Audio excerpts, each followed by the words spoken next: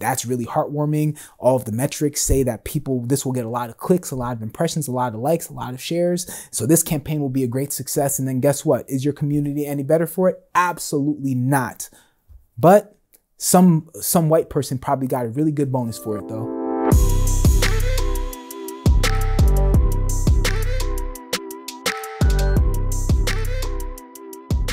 Hi, everybody. Welcome to the Do You Know Black Creators Kickback. I'm Alyssa. And I'm Darnell, and we're the creators and executive producers of Do You Know Black, the game show, and the Do You Know Black Kickback. Today, we're going to be diving into the latest episode of the Do You Know Black Kickback and adding our two cents into the conversation. So let's get right into it. Today's topic is focused on Black owned businesses and their responsibility to the community and vice versa, something that we're well versed in as Black entrepreneurs who have a deep investment in other Black entrepreneurs. Yeah, so the first question that I just wanted to like talk about right away is the first question that Lamont asked uh, the group, uh, which is Do black owned businesses uh, have a responsibility to prioritize uh, black consumers? So I'll let you kick it off and just like start to give your thoughts on that question, uh, and then we could just have a dialogue from there. Um, I mean, it's an, it's an interesting question. I I think that a lot of black brands already do prioritize inherently other black consumers, just given the nature of most black. Well, I wouldn't say most, but I know many black brands have been started off the fact that there was something in the market that did not exist that catered to black consumers, whether it was a hair product or a skin product or whatever the case may be. So they were prioritizing consumers and thinking about producing that product. So I think that it needs to be a priority. No, I feel like you can create a product that addresses a wider need that's not specific to, to black people. So I feel like if you're a, a black owned makeup beauty brand, you shouldn't have to prioritize black women when making that as a black woman, but you should be inclusive of black women in that product. But you don't have to specifically say, I'm only focusing on women of color, because then I think you leave women out of that market and you leave money on the table, which ultimately over time hurts your business. So I feel like we should be inclusive and thoughtful of of, of other women, black women or black people in general, depending on the product. But I don't think that it needs to be prioritized to solely focus on on Black people. I do think that when we think about like the word priority, I think that's the key to this question: is what should Black-owned businesses or business owners um, prioritize? And I think the first thing that Black-owned businesses should prioritize is sustaining right? Like that should be the number one thing. Um, there are so many black owned businesses that we see that we want to support that after a year, because there were not the best business practices, or because they did things that left money on the table, or because they weren't operating efficiently, or because they couldn't scale, or for whatever reason, their business was not able to sustain. So when you have black owned businesses where it's kind of like the first thing that they're thinking about is like, okay, a specific sector instead of thinking about how can I get the best business practice possible to make sure that I sustain. I think that that's like the first thing that they should be prioritizing. So sustaining. The second thing that I think should be the priority priority in life is first you figure out how to survive, then you figure out how to thrive, right? So it's saying, hey, how do I sustain initially? And then after you figure out that, then you, okay, how do I grow? Right? I think that when it comes to this situation as black people who have been underserved, we do have to think big picture because when you have black owned businesses that survive, then they thrive, long term, they're able to better serve you, right? They're able to build better businesses, whether it's restaurants, products, they're able to develop more products. They're, they're able to develop products in a way where they're not going to be out of stock, right? Where you're not going to go into the restaurant and you're there going to be like, oh, we don't have that, right? Anymore. So I think that that's the big, the, the number one priority. Um, so that's my thought initially. Um, I, I, think that what you said could be like kind of misconstrued by some people though, right? Because when you kind of say the idea of inclusivity, I think that that would probably be something that could rub a lot of people the wrong way, to be honest with you. I so I, I get what you're saying, and and let me address that because it's not. I want to give you an opportunity to address that first. I think that when you go into business, any smart business person, doesn't matter what color you are, is going to be thinking about how, even if I'm coming out with a hot comb product, and that's something very specific to black people, right? Like, so if that's the case and you're coming out with a hot comb, all right, you know what your market's to be, and you know that at the at, ultimately you're to have a specific reach throughout your your career. You're you're not to have oh like a huge growth at some point where suddenly like there's going to be a huge spurt in people needing hot combs you know where you're going to be like you have a general market and that's what you're going to be reaching if you're coming out with a product and you sit there and you say going back to the to the beauty product. Where you're like well we don't have high pigmented colors for people of color right? Like high pigmented makeup right? That that looks better on our skin that does whatever this thing. So i'm to come out with a line that addresses that. You're talking about fenty or something like that. Cool. You can come out with a product that has uh, multiple shades of, of colors that aren't addressed in the mainstream market, multiple shades of color, but you should already be thinking about, hey, ultimately if i'm going to reach if more people long term if i'm going to try to grow my audience long term i should be going into the market with hey, starting with the white shades all the way to the black shades. It's not being inclusive doesn't mean that you're being exclusive of, of black people. You're still you're still going to be offering something that other brands aren't offering. You're still offering multiple shades and deeper shades that aren't on the market already. You're just giving throwing in some some other shades on the other end just to make sure that you're able to sustain that long term. You already have a wide mainstream market. I feel like there's something we should be thinking about. It doesn't matter if it sounds good or not, but like at the end of the day, that's going to be what keeps your business going is having a wider market that's going to reach more people than just saying I'm only going to focus on this this spectrum right? And then hope that they continue to support me throughout my my career. Yeah. Yeah. I i mean i i think it's so interesting because when we talk about the idea of like cancel culture i think it's a lot of times people get canceled um, or brands get canceled because people are looking at it from the surface right? From the surface level um, from the headline right? So like what you just said for example if I wasn't, if I didn't understand what you were talking about and I just took it at face value, like that's that's one of those things that could easily get somebody canceled. The real what? talk. No, well, just the idea of like, oh, of being in of of coming out the gate. This is why I said I, I was very specific in saying that when you're going into creating a brand, you should be thinking about this already so that you're not doing when we talk about the Shea Moisture example, the problem that I think the problem that occurred was that Shea Moisture came onto the market to address needs that black consumers had at that time that were not being addressed. Then they decided that they were more broad. And I had heard this before. I wasn't a personal consumer of Shea Moisture, but I had heard before that there were other people, like white people, people mixed people who had curly hair, who were also already using Shea Moisture, even though it wasn't designed or built for them. So they already had a market of, of people outside of black consumers.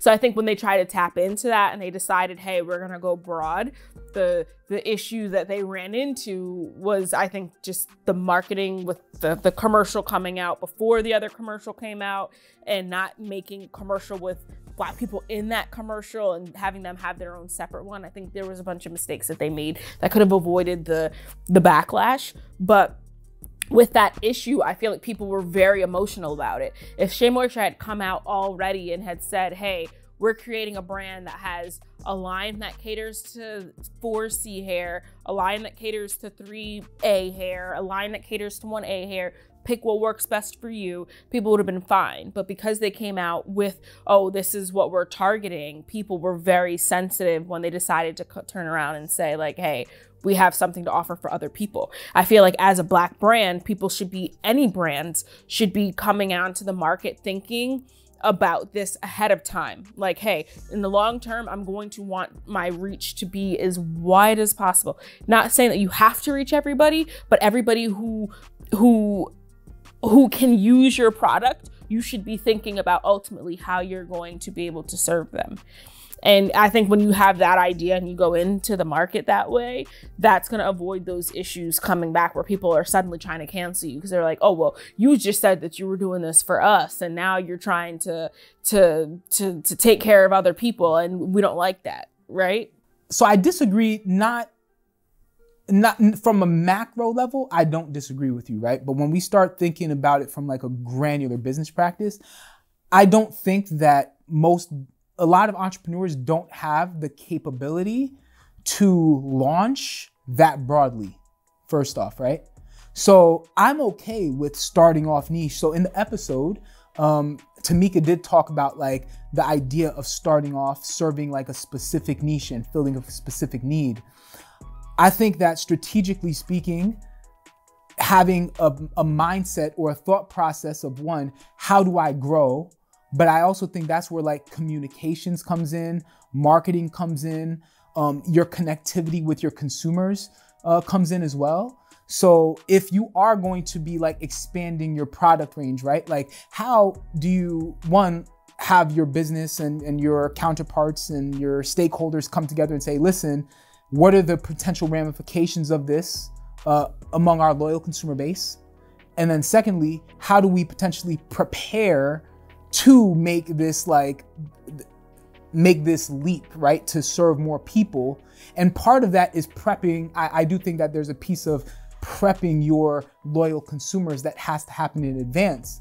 So I think that with the the Shea Moisture piece, it's not the fact that they started off niche. I think that once again, with limited resources, a lot of people have to start off niche. But I think that just springing something that quickly, right? That that's when you it's very rash um, and blunt and abrupt, and then that's when it kind of catches people off guard. So, so that's like the first thing. Um, I do think that it, it would be okay, depending on what your goals are. And you know, talking once again, talking about the episode, Tyler, he spoke about like what are your initial goals um, that you have for your business. I think that when you start looking at your business, if you no matter what business you're in you should always have a growth mindset right? Because if you don't have a growth mindset and an innovative mindset at some point there's going to be competition that's going to come in. And if you're not constantly innovating in any area whether you're innovating in communication innovating in your product innovating in your marketing strategy right? In- innovating in whatever you do like that's how you get supplanted right? We see what happened with the blockbuster and you know netflix right? And um, you know netflix started off with dvds and then they were like innovating innovating innovating and probably when they had the dvds they were already thinking about this streaming platform. Um, so you think about all these different uh, markets. So i think it's okay to figure out and it's necessary to think about how you can innovate and grow. Um, but that communication piece to your market is very important. But if you are going to stay within the sector, the other thing I'll say is another way to grow is either one, you can expand your market base. So it's saying, hey, right now I'm serving one specific demographic. How do I serve more demographics? Or the second thing is you can say, how can I develop more products to serve this same market? And then figure out how instead of them buying one or two or three products, I can serve the same market, but now they're buying 10 products, right? So those are the two different ways that you can grow um, in my mind. So, and I, again, I said, I think that we're saying the same thing because I did not say, um, I agree that you you should start niche, right? Like wherever that market is, like wherever you're trying to address at that moment, that's what you're addressing. I said that you should go in with the mindset thinking about like hey long term if i'm going to be sustainable if i'm coming out with this hot comb now like at some point this hot comb is only to get me so far. So i should be coming in with a thought on what i'm going to be doing after that. Like what am i going to be bringing into the market after that um to continue to, to continue bringing in revenue? Because at some point you're gonna hit a you're gonna hit a rock if you're only creating one thing one product or you're only targeting one group that that group's not going to necessarily serve you consistently throughout your your your the life of your business so you need to go in with the mindset that I need to have something else ready to go as soon as this hits, if it hits or whatever. Like, what's our next thing? And how can I bring in the most amount of people possible within this? It's just like when we talk about um, in college we used to go to like the froyo spots right a lot. Mm-hmm. And it's like that's a very seasonal thing. And it's like how do you stay how do you self-sustain like a, a froyo business in the in the winter when nobody's eating frozen yogurt? And then these were the same these froyo spots started making crepes. Like in the wintertime you'd go there and they'd be making crepes. They'd be offering all these other random things throughout the seasons the different seasons because again it's when you have something very specific you need to know how to hit other markets outside of that that's all i'm saying No, I, I agree. I, I just wanted to hedge because I know you know I know what you're thinking before you even say it to a degree. no you don't Uh, yeah, I do. Yeah, I do. No, you don't. Yes, I do. Okay, But next really do. So- what was what was on the Uh, list No, no, well, well, we'll get to that. But no, no, I, I agree. Um, I, no, I, so I agree with that and figuring out how you can diversify. I think one of the one of the difficulties that that we as people have as well is like when you we as people or we as black people I'm sorry, we as black people. You're talking to you know black. So when I say we, I'm talking we. so um, so we as black people, I think one of the difficulties that we have when we talk about resources is, is is how do you get like the market data, right? So you develop this product, you want to enter into a market, you want to enter into any kind of industry or sector. So you're you're a startup, but then it's like how do you actually? A lot of times we don't have the resources to really understand. Um, like you can either say, okay, I'm gonna take my resources and develop the product and test it, or I'm gonna take my resources and do research, right? And most of us are gonna say, no, I'm gonna I'm gonna test, launch, and then see what happens from there. So this process of one like testing the market to see, well, is there a market for this? Is it already saturated, right? Um, and then a lot of times what ends up happening is we jump into a market and then we realize like, oh wow, like I'm not able to scale it. Like the marketing is not landing the way I expected the marketing to land. And then you have a decision. You can either figure out, okay, how do I shift to survive? Because surviving is the number one priority. How do I shift? Or um, do I just let the business go and call it like an L? So I think that we, I, I would love to see us as people give more grace to black-owned businesses that are trying to figure it out. Not not just from the stance of like, I mean, we've all we've all been in the situation of like we go to a restaurant and we want to support this black restaurant. The food is really good, but we're in a rush, right? And and you know, like there are certain restaurants like I'm, I can't go there if I'm in a rush because like okay, if I go to another establishment, I'll get served two times as fast. So we've given a lot of black-owned businesses grace for some of like the delivery pieces of their business, but I don't think that we've given a lot of black-owned businesses grace when it comes to the the learning curve that they have when it comes to actually building their brand and building their identity. Now I think it I think it ties back to the conversation about the Shea Moisture when products and that it wasn't even a rebrand or anything of that nature. They were just I feel like don't quote me on this, but I'm pretty sure when they released that commercial, uh, I can't remember what year that was. I think it was 2017. 2017. Something like that. Um, when they released that commercial, I believe that was like their first ad campaign. Like I don't think they had done marketing before that. Like like TV marketing. So I think that it it came off as like a shock to people that like their first campaign, like the first commercial that they had was like this commercial with no black people in it because they didn't know about the other black version doesn't really matter but like i think that kind of seeing that threw people off and i think that part of that spoke to what you said about like giving people grace and trying to present themselves and figure out their identity. And i think at that point they had decided that their identity is like really a brand that caters to hair that hasn't been like I think they were trying to get away from the idea that it's only black hair that can benefit from their their products. Um, it's it's it's hair that it was curly hair or whatever, really textured hair or whatever hair that had difficulty being addressed with mainstream products. And I think that they were trying to get to that with that story, that campaign. I, it, it didn't land, but again, I think we had given them a little bit of grace in that, um, we would have seen we would have seen where they were going with it. Yeah. When we think about the initial question that Lamont asked, which was should black owned businesses prioritize black consumers? if we think about it strictly as the, the transaction between the business and the consumer, that question doesn't give justice, really, right, to the full context of it. And we leave the questions vague when we create them for, for a reason, so the, the conversation wherever it goes. But if we start thinking about like the big picture of black people in America as a whole, our, in my opinion, our objective as a whole is figuring out how do we catch up, right? We we've been hamstrung, we've been beaten down, we've been held back. So how do we figure out like if if we know we know that we're behind. We know that we're behind by a lot no fault of our own, but we're behind. So if you're behind in a race, not only do you have to you don't have to run the same speed as the person that's ahead of you. You have to run exponentially faster than them to catch up to them. And and then you have to kick it into another gear to pass them and have enough energy to pass them, right? So if we think about that question, not just in respect to the business itself, but black people as a whole, we should be thinking what is it going to take for us as black people as a whole to catch up and then surpass?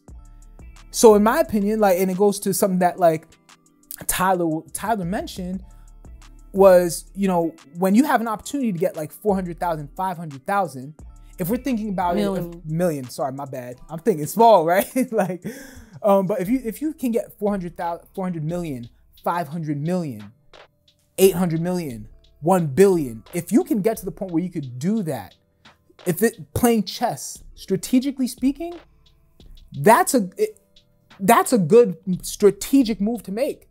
If in your back of your mind you're always thinking at the end of the day it's always going to be about black at the end of the day right? So but there are certain sacrifices that have to be made um, success doesn't come without sacrifice so you know one of the things that tyler mentioned he was like oh you know when you sell for 500 million the company that you're selling for has to figure out how they they've already ran their numbers. They've already done the numbers. They've seen what the projections are. They've done the market analysis. They've done these growth trajectory projections, like you name it. They've done all this, and you're giving you're taking that money saying okay like they need to recoup and this is how they're going to recoup and sometimes that's going to be shifting your brand but if you in the back of your mind realize like okay i'll take that deal that might be a small l for us in one area but it's going to lead to a much bigger win in another area. This is the strategy that I, I hope that we as black people start to really appreciate a lot more. This losing a battle, winning the war mindset.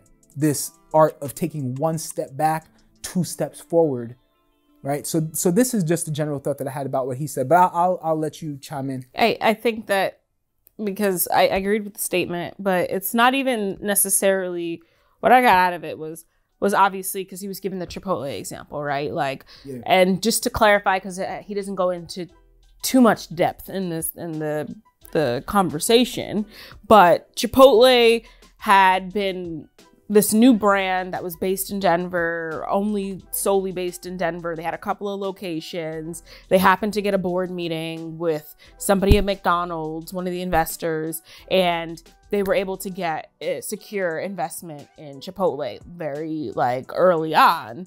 And so you have this huge brand like McDonald's that's investing in you now and they were able to scale to like 500 restaurants, I think it was. It was like something crazy, like a, a, a substantial amount around the country now because you have this investment from McDonald's. McDonald's had made a couple of suggestions like you should offer breakfast, you should have a drive through, you should have you should change the name to to be like fresh Mexican grill, something that kind of sounded like Qdoba-ish, like aligned it with Qdoba. And they were just like, ah, thanks, thanks, thanks, but no thanks. And they didn't they didn't do it, which is which is cool because it, they at least they had that the opportunity to say like no like this is our brand we get our brand and this is going to change our brand so when they did that mcdonald's was like all right well you know we don't really necessarily feel like this is gonna grow so we're gonna bow out and they sold them back the shares and then they got their their brand back. But at the same time like they were able to invest. They got lucky but at the same time they were able to get this investment from mcdonald's and still kind of maintain the character of their brand. Some people don't have that opportunity to do that but you also are not going to have the opportunity to grow to 500 businesses. So you have to decide what do you want to do? Do you want to be a national chain? Do you want to like how big do you want your brand to, to, to grow and still be able to maintain the integrity of your brand? Because some things you're not going to have control over and you're going to have to say hey if i'm going to take this tens and hundreds of millions of dollars to help expand my business. There's going to be some things that I'm not going to have to, that I'm not going to like, that I'm going to have to do, like starting a drive through or changing the name or doing something along those lines. And I think that as Black people, we can be kind of emotional about things, um, not even as entrepreneurs, but as the consumers of these brands that we feel like we're invested in, which is a whole probably a whole different conversation, but I feel like we consider ourselves more invested in them than we actually are. Um, going back to the Shea Moisture example, when they were getting roasted on Twitter, and all these people are saying, "I'm a loyal customer. I'm like this loyal consumer. How could you do this to me?" We were, they were like very emotionally invested in this ad, right? And and saying like that they didn't support it and they weren't going to buy Shea Moisture anymore. But I'm like, at the end of the day, like, how invested were you? Like, were you, we all like to say, like, okay, we support black businesses, we go to black business, but I'm not eating at a black business every single night. I'm not eating at the same black business every single night. So while I support them, I'm not exclusively supporting them. So it's the same thing with Shea Moisture. We can't sit there and say, like, oh, we we supported you. I'm a consumer. I'm a loyal consumer, but I'm not an exclusive consumer, especially as a black hair care, a black female. We are the most um the most likely to try new brands. We're always looking for new hair care products. We're always looking for new things that work for us. If we find something that works, yes, we'll continue to use it. But like we have, I, I think just with our texture, like there's things that require us to constantly seek out new products. So we can't say we're exclusive to one brand. So we wouldn't have been exclusive to Shea Moisture. And to sit there and tell them, like, all right, we're going to cancel you, that's like an emotional statement. And I, I, I don't agree with us doing that because we're taking other people out of the game based on our emotions about it. So, uh, so I'm going to have to, I, am not even going to say I disagree, but I'm going to say I disagree. But I think that the, you said a couple of things. I think you made a couple of assumptions that I, I would not I could not necessarily second, right? I I would think that there are a lot of people who were really hurt by that campaign because they were extremely loyal to that brand. And because that was like a brand that they were in on from like the beginning and they really felt like this personal connection. So so I I, I would I think that I can't say that, oh, well, how really invested were you? Like, there's probably a lot of people that are watching this, like, yo, listen, you don't know what you're talking about. But- no, but again, that's the emotion in it. Saying that you were loyal and you were invested in thinking deeply about it. And it, like, I think there's two different things there. Yes, we can be like, oh, we were all about Shea Moisture. But at the end of the day, like, if we're only buying it every six months once a year. We're not using it exclusively. Like the, uh, eventually they're going to need to grow their brand. How are we supporting them in, in growing their brand? So you can't sit there and be mad if they try to expand the brand. Again i'm not saying they didn't make a mistake in how they rolled out that campaign. That campaign was problematic.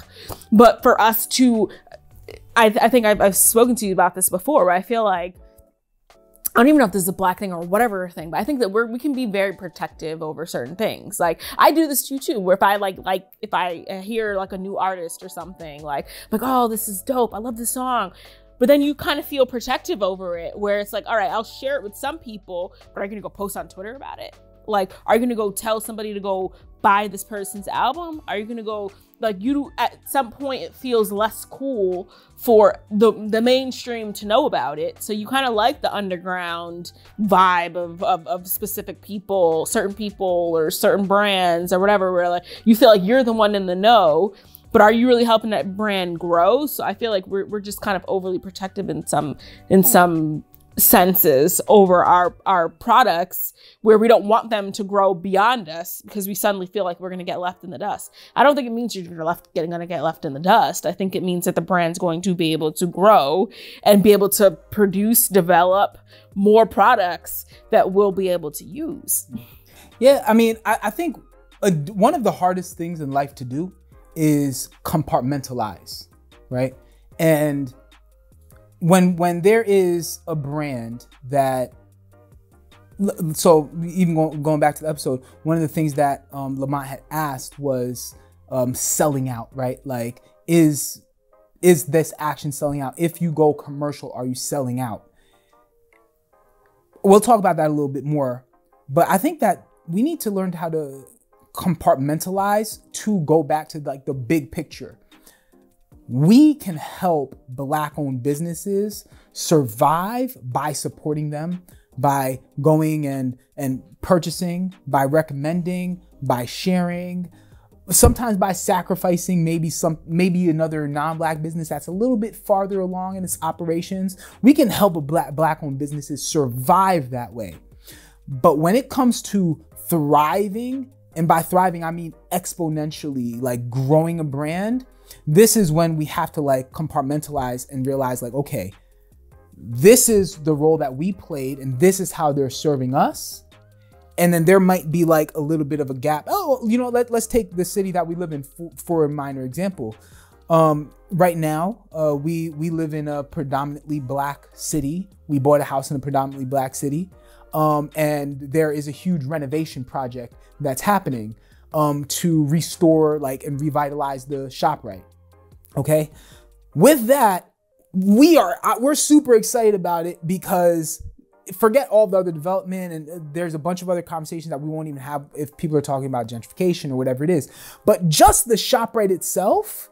I am I'm looking forward to having a better ShopRite with a bigger selection and that's a little bit cleaner and that's a little bit more modern, right? Because now us a lot of people in City Hall, a lot of other people are going to the next cities over just to go to like another ShopRite because the one that's in our city is not the best. So they're restoring it. Part of this process is you literally have people that are um, that are like, well, what's gonna happen to our ShopRite? Like, where are we gonna shop? And it's like, okay, there might be a year period where it's uncomfortable, or there's gonna be construction, but like there's this gap where if you can just sustain and trust the process, after a year, you are gonna have access to a much better shop ShopRite.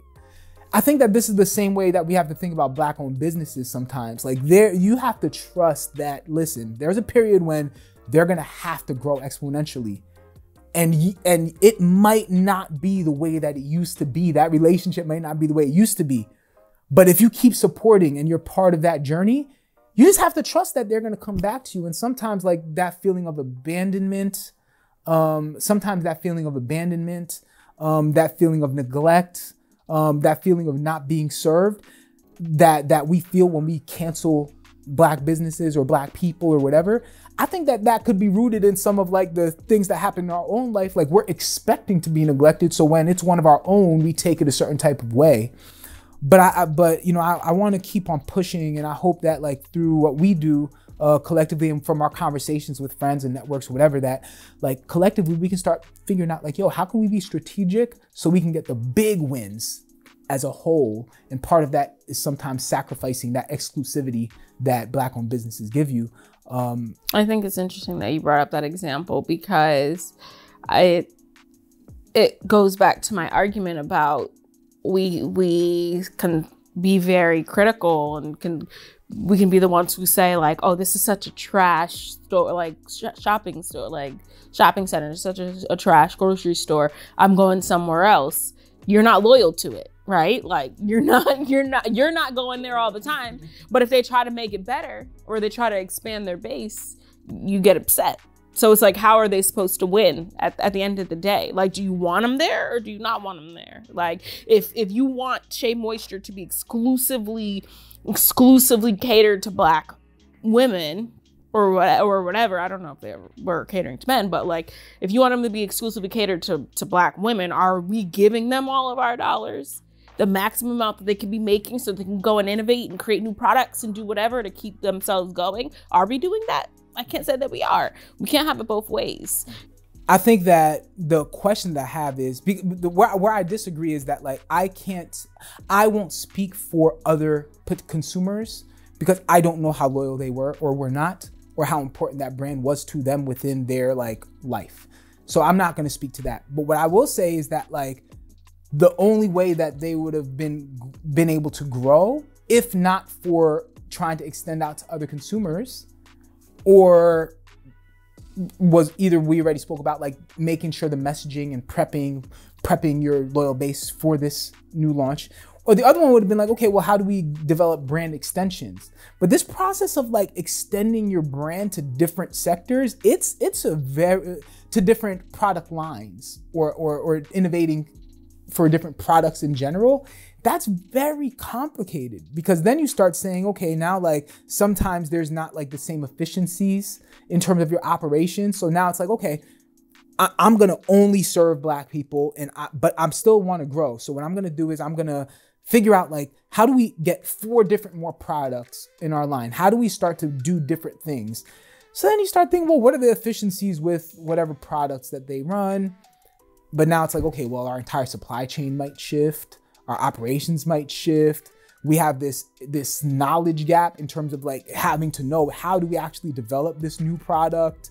All these different things cost a lot of money that uh, that you're not necessarily bringing in the revenue um, unless everybody is all in on you. But then even then, let's say that everybody was completely loyal.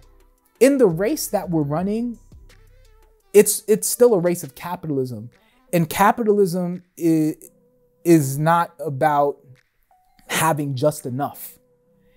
Capitalism is uh, unfortunately, like it or not, is about having as much as you can possibly have.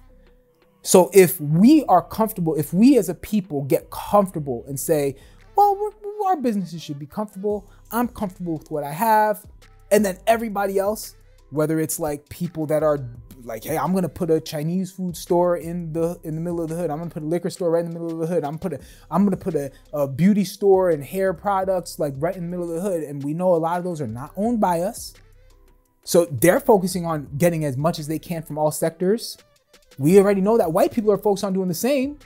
So if we don't have that same mindset, then down the road, it's like we have to accept the fact that, like, hey, we would rather just have this like loyalty and have that like yeah we're down for the culture thing and forego all the money. But then if we get if we get lapped when it comes to wealth then we can't complain about that either because that was the choice that we made.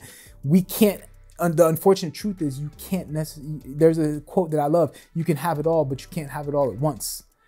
And that's kind of the decision that we have to make. For me i'm about like how do we as a people win the war um, so so that that side of it, you know, I, I would agree with you in terms of like the necessity for a brand to to extend that way.